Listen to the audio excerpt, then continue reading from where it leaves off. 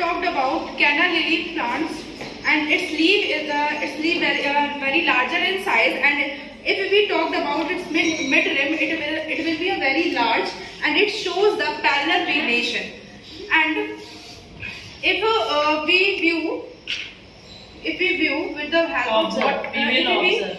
observe with the help of water, it shows the layer perfectly. Uh, hence, the water never holds on this. If you will uh, see in this manner also, there is a white wax on your fingertip.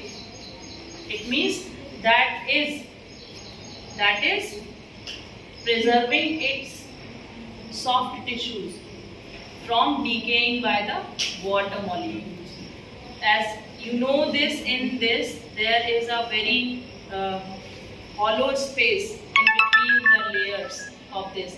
Water will go inside it and that will start decaying the stem of this plant. That is why it's every layer contains wax and that wax will not hold the water on these tissues. That is why it is preservative in nature.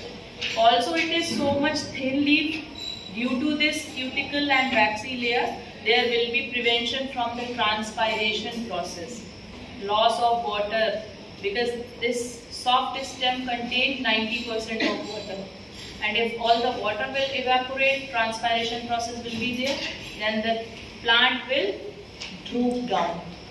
That is why this wax will protect it from the Loss of water. loss of water. That is the transpiration process. Right? It is a very beautiful flower. It is in Hindi it is called keli flower. But its scientific name is Canna lily. Okay? It's very common. You have observed it uh, so commonly.